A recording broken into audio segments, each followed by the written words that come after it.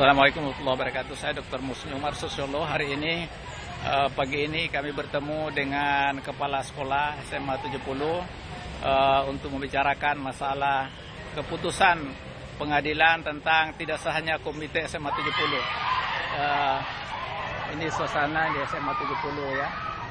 Di SMA 70 uh, yang ini saya kita bersama dengan teman-teman ada Dwi uh, Daryoto, ada Dr. Yonanda, ada Ibu Kris, ada Ikhwan Ramli, ada uh, Pak Agus uh, dan ada Pak Toto dan banyak lagi. Kita sangat kompak untuk menyampaikan tuntutan supaya SMA 70 diselamatkan.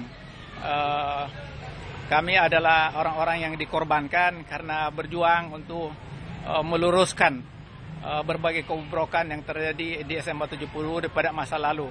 Masalah ini kita sudah sampaikan kepala sekolah dan keputusan pengadilan negeri Jakarta Selatan sudah ada. Ada kasus perdata, ada kasus pidana dan juga keputusan MK yang membubarkan uh, tentang komi, uh, tentang RSBI.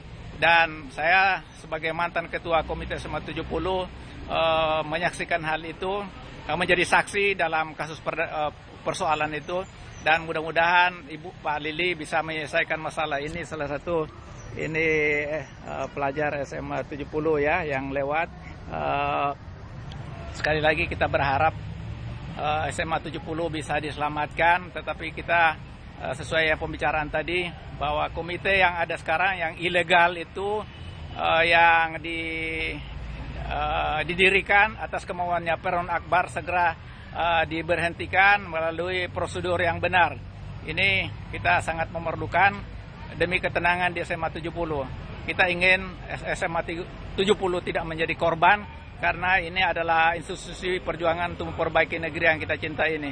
Uh, mudah-mudahan ini adalah pelajar SMA 70 yang sedang berolahraga dan uh, ini ada di ruang sana yang ini suasana ketika teman-teman baru saja keluar dari uh, SMA 70. Sekali lagi uh, Pak Lili menerima uh, kedatangan kami dan mudah-mudahan ini bisa diselesaikan dengan uh, sebaik-baiknya.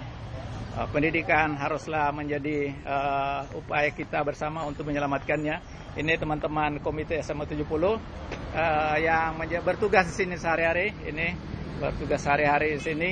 Kita mudah-mudahan ini bisa terselesaikan masalah SMA 70 inilah uh, SMA 70 yang kita saksikan hari ini yang kami sampaikan hasil keputusan pengadilan negeri dan uh, perdata dan pidana dan keputusan MK.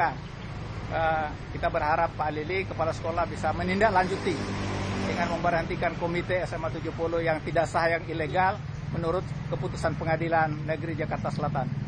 Demikian laporan ini saya sampaikan Dr. Musni Umar Sosiolo dari Jakarta Selatan. Assalamualaikum warahmatullahi wabarakatuh. Mari Pak.